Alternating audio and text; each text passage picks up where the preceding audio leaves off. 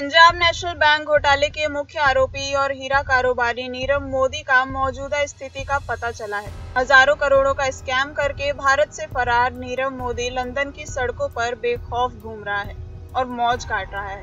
खबरों के अनुसार उसे लंदन के वेस्ट एंड इलाके में घूमते हुए पकड़ा गया। नीरव मोदी फ़िलहाल यहीं पर 80 लाख पाउंड यानी कि करीब 70 करोड़ रुपए के आलिशान अपार्टमेंट में रह रहा है।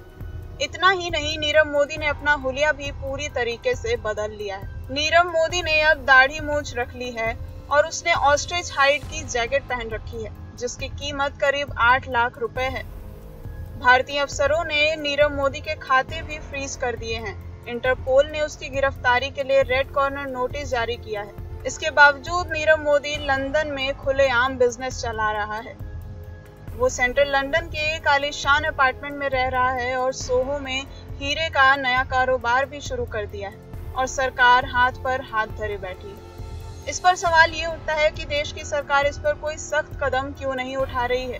हाल ही में सीएम योगी ने लखनऊ में नरेंद्र मोदी की तारीफ़ करते हुए कहा था कि मोदी है तो सब कुछ मुमकिन है, पर लगता है ये वाकया नीरव मोदी के मामले में ज़्यादा सटीक बैठता है।